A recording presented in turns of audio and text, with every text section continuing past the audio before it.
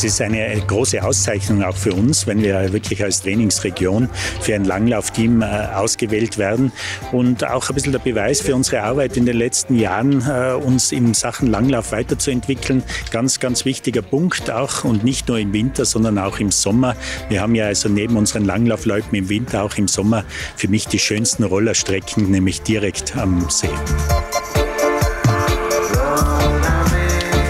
Die Bedingungen sind hervorragend. Die Achensee-Region ist ja eine Region des nordischen Sportes und nicht nur im Winter, sondern auch im Sommer. Wir haben hervorragende Möglichkeiten zum Skirollern und der Tourismusverband hat mich in allen Richtungen perfekt unterstützt, äh, wie immer, wenn es um den nordischen Sport geht.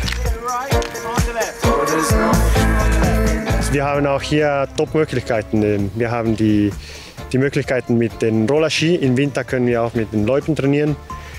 Und wir haben auch Flach und Gefälle, also alles Mögliche, was man so braucht äh, für Olympia. Die Bewegung ist sehr ähnlich. Also es ist, es ist wie ein Ski mit Rollern. Hier in Nachensee haben wir eine sehr gute Möglichkeit zum Trainieren und eine bessere Technik äh, aufbauen.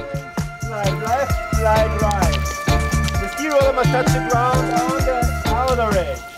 Wir bieten Ihnen die perfekte Infrastruktur, nämlich mit diesen Rollerstrecken. Also das sind tolle Asphaltstrecken direkt am See und nicht zuletzt also auch einen äh, sehr guten Trainer mit dem Peter Schwandl, der betreibt eine der Langlaufschulen am Aachensee und ist so mit prädestiniert, um Ihnen den letzten Feinschliff zu verpassen.